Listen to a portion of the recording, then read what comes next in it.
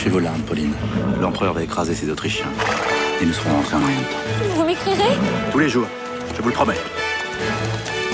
N'écrira pas. C'est un séducteur, voilà la vérité. Un séducteur. Qu'est-ce qui vous est arrivé? Il y a trois ans, vous êtes parti pour l'Autriche. Pauline est mariée, mère de deux enfants, et pour elle, vous êtes mort et enterré. Je le rassure sur le champ. Non, non, non Vous n'avez même pas pris le temps de lui écrire. Alors je l'ai fait, moi. Voilà, je me suis fait passer pour vous, je lui ai écrit quelques lettres, et dans la dernière, je vous ai fut. Foot. Mais attention, Neville, vous êtes mort en héros. Ce serait dommage de tout gâcher, non? Ah oui. Neville Il est revenu. Nous avions un accord, vous deviez partir. Vous êtes fou, c'est ça, vous avez perdu la raison? Me voici de face à 2000 Anglais qui chargent en ma direction. Ils ne sont plus qu'à 100 mètres. Mon doigt se pose sur la détente. Et là, là, la cavalerie est arrivée. C'est ça la chute. Bah, c'est nul.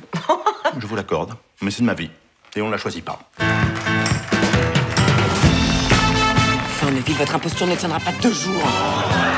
Je coupais des doigts, des mains, des bras, des cheveux Elisabeth, si je tombe, vous tombez avec moi. Je suis un peu fatiguée. Je vais aller me reposer dans une chambre à l'étage, la dernière au bout du couloir. Pauline Neville François? Ah, non. Pardon, j'attendais quelqu'un d'autre. Une autre fois, peut-être. Non Vous êtes en train de dénaturer mon œuvre. Ah, la chienne Le capitaine que j'ai créé était fin, il était subtil. Ailleurs, je ne suis rien. Ici, je suis le capitaine Neville.